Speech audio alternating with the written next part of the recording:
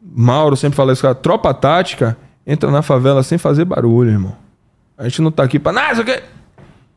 Nada, sem agonia. A gente entra na favela sem fazer barulho. Eu aprendi isso aí.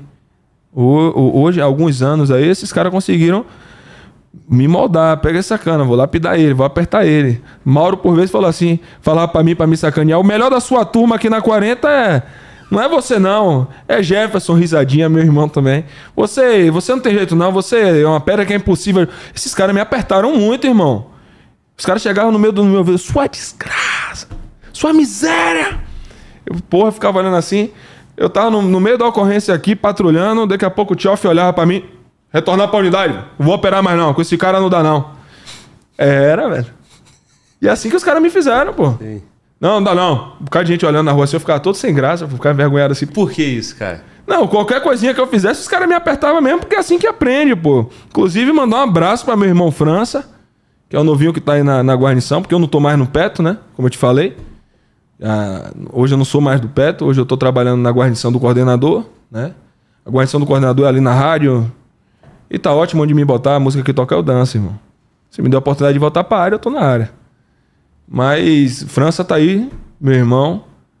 E eu disse a ele: esses caras vão lhe apertar e vão comer o seu juízo como me comeram o meu. Sacou? E os caras chegavam para mim sem nem saber qual é a minha. Logo quando eu cheguei na unidade, meu irmão, aqui não tem nada de.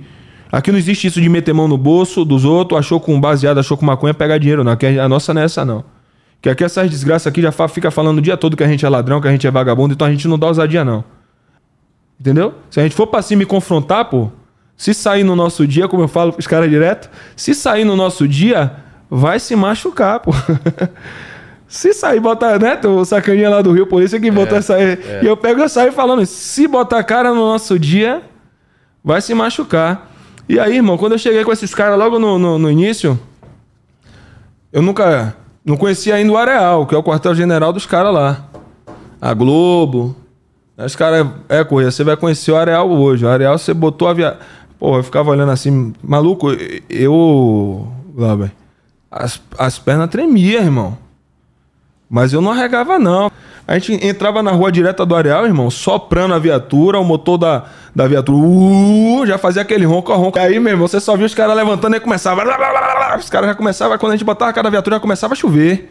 E aí o polícia botando o corpo para fora da viatura também, pelo, pela janela, se projetava para fora, e aí tome, tome, tome, e eu do lado de cá. Os caras, é, irmão, é agora, porra. Você chegou aí, porra, sua chance. E eu, porra, é mesmo, então. tome, tome, tome. E foi lá no areal, inclusive, que eu fui baleado. E meu primeiro auto de resistência foi ele que tava do meu lado, Tchoff, né? Um menino de 16 anos. Uma ocorrência que acabou morrendo dois dois meliantes. Um eu não sei nem se a gente estava com apoio no dia de uma especializada, né? Acompanhando os caras, né? Informação de que tinha homens armados. E aí, quando a gente chegou no local lá, a gente entrou pelo Beco das Pedras de viatura, veio até a beirada da creche na subida para São Policarpo. Meu primeiro auto de resistência foi assim, foi com ele. Quando a gente chegou ali, os caras, pau, pau, pau, pau, começou a troca. E aí, quando a gente subiu mais um pouquinho, tinha um sacano. O, ele tomou um tiro pô, no pé. Então pegou ele logo para levar para o hospital, para dar o socorro, para salvar, né, velho? Ele se entregou ali. Então, vai viver, né? Só que a hemorragia acabou matando ele, infelizmente, né? E aí a gente continuou no encalço dos outros. E aí vai, vai, vai trocando tiro e avançando ponto a ponto, ponto a ponto. E o pivete de 16 anos bancou. Até que ele entrou na, na, numa residência e ficou sentado na porta da residência. Quando eu botei a cara, ele deu de lá. O tiro pegou na porta, quase pegue em minha, em, em, no colete, né? Chegou, não foi na cara, não. Tiro pegou na porta na direção do meu peito. E aí Tchoff ganhou um lado da porta e o outro, e aí pau. Deu, quando ele tomou, caiu, a gente deu socorro. Chegou no hospital, constatou o óbito, né? Mas foi uma troca que começou de, vamos dizer assim, de quase um quilômetro e meio dentro de favela ah, parece um espaço curto, não, mas foi ganhando ponto a ponto, trocando, bancando, indo pra cima, indo pra cima, indo pra cima. Até que a gente chegou ao ponto de neutralizar ele. O primeiro eu acredito que tenha sido o tiro deles mesmo. Alguém deu um tiro, um disparo acidental lá e. Calma, filho, falei com ele, né? Calma, filho, a guarnição vai salvar você, fique tranquilo, você vai ficar vivo. Não se agonie, não, não fique com o coração acelerado, não, porque ativa hemorragia, irmão. Fique calmo e você vai ser salvo. Mas morreu também, infelizmente. E aí foi meu primeiro auto de resistência, foi com ele, com o Tchoff, ali lado a lado, ombreando. Tá batizado. Tá batido, batido. Irmão, olha só, Areal é. Me, me situa aí, cara. Faz a geolocalização aí. Areal é, é próximo ao Nordeste, é isso? É dentro do Nordeste. É dentro do Nordeste. Na verdade, existe um, Nordeste é um complexo. é um complexo, complexo Nordeste de Amaralina que tem Vale das Pedrinhas, Chapada, Santa Cruz e o Nordeste. Que é o bairro Nordeste mesmo, mas é um complexo chamado Complexo do Nordeste que tem quatro bairros ali dentro. Sim. né? Santa Cruz, Chapada, Vale das Pedrinhas, que divide ali a Chapada do Nordeste, é uma, uma avenida que tem a favela das Casinhas, tem as bananeiras, tem várias, vários pontos de confronto que sempre a gente, sempre a gente confronta. Inclusive, é, um dos meus últimos confrontos aí que eu tive foi na, na- na- nas casinhas, acho que já deve ter alguns meses aí. E aí, esse are- Areal é uma área ruim. É, uma- né? é- é o quartel-general deles, que é o aí, QG deles. Quando, quando, os- quando o camarada falou, pô, vamos lá na Areal.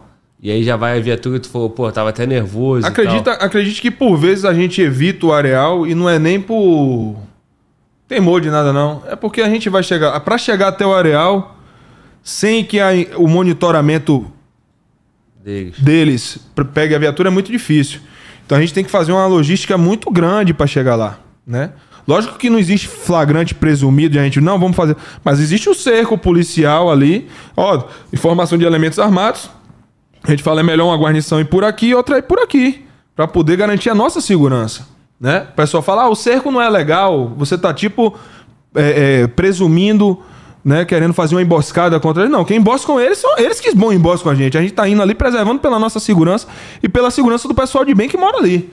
Sacou? Então é necessário. A gente divide a guarnição até porque são duas viaturas, né? E para chegar lá, pau quebra, irmão.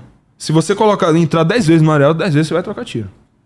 10 vezes você vai trocar tiro. E não dá pra ir com a viatura até em cima, porque senão também não pega nada e vai tomar tiro em desvantagem, né? Às vezes a gente tem que Aí vir tem andando, que vir, vir andando pelos becos. E aí trocando tiro, trocando tiro, trocando tiro, trocando tiro. né? Beco a beco. Beco a beco. Tanto que a gente carreguei às vezes 180 munições.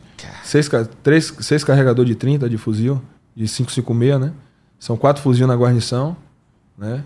E agradecer a comandante aí, a Major Cidreira, que é uma mulher moralizada, foi patameira, né? Faz um comando com, com, com excelência, independente de qualquer coisa. Que eu fiquei, fiquei triste porque eu queria ficar no perto, mas se ela entendeu como gestora que não, não é Brasil e para lá que vai. Mas agradecer aí, né? Porque dá todo o suporte a gente. E muitas vezes foi, foi fez a- botou as costas assim para segurar as broncas que chegavam pra gente, né? Porque conhece a postura do policial. Devo muito a ela, tanto na minha vida profissional como na minha vida pessoal, alguns problemas que eu enfrentei, que eu até Sim. troquei ideia com você de algumas acusações. Sim, sim. E aí, irmão, é, esse aí foi o teu primeiro momento ali, teu primeiro auto de resistência. Foi. Eu já tinha te questionado como, quando que surgiu essa vocação sua, né, pra polícia. O policial que tá aí hoje, ele foi formado, né? É, mas no início da carreira, você foi, porra, vendo que você nasceu pra isso. Você tinha essa vocação. Eu, comia, eu, eu gosto muito, gosto muito de, de, de, de incursionar, de, dessa onda de patrulhamento tático em área urbana, de, de a gente, aquele padrão. A gente, a gente tem uma- um entrosamento tão grande na guarnição que a gente. É igual a música, é igual a dança. A gente vai incursionando ali que, olha, porra, tá sempre todo mundo ganhando todos os ângulos, um protegendo o outro. A gente tem um efetivo um pouco maior do que a maioria das guarnições, porque uma guarnição é uma viatura, mas a nossa são duas. É uma equipe formada por duas viaturas que está ali atuante o tempo todo no terreno. E a 40 sempre resolveu os problemas lá mesmo. São raras as, as vezes que, que. Pede apoio. Pede apoio. Mas a Rondesp Atlântico também é muito atuante dentro do Nordeste de Amaralina. Então, a gente por vezes está disputando aí quem é que está mais botando para lascar lá dentro. Mas a minha pergunta é, cara, como é que foi, cara, pra você esse, esse batismo de fogo e essa primeira oportunidade, essa, esse primeiro auto-resistência, esse primeiro confronto ali de Eu, eu, fiquei, eu, fiquei, eu, eu fiquei em êxtase. Não porque tinha tirado a vida de. Eu fiquei em êxtase porque eu voltei vivo. Onde eu poderia ter voltado no caixão. Né? Como eu fui baleado. No dia que eu fui baleado, pô, o tiro pegou na minha virilha, podia pegar na minha cabeça. E pegou na minha virilha, onde pegou na minha virilha, pegou muito próximo à femoral isso também. Então, o, mé- o médico falou, ah, foi centímetros da femoral, né? Então, eu, eu, eu vibrei, irmão. Eu já. Pra mim, aquilo ali. No momento eu, eu, minha consciência pesou, fiquei vendo assombração, ou precisei de apoio psicológico, eu nasci pra isso, pô. Eu tenho convicção que eu nasci pra isso. Eu nasci pra ser polícia, não pra tirar a vida de ninguém. Mas é o meu trabalho.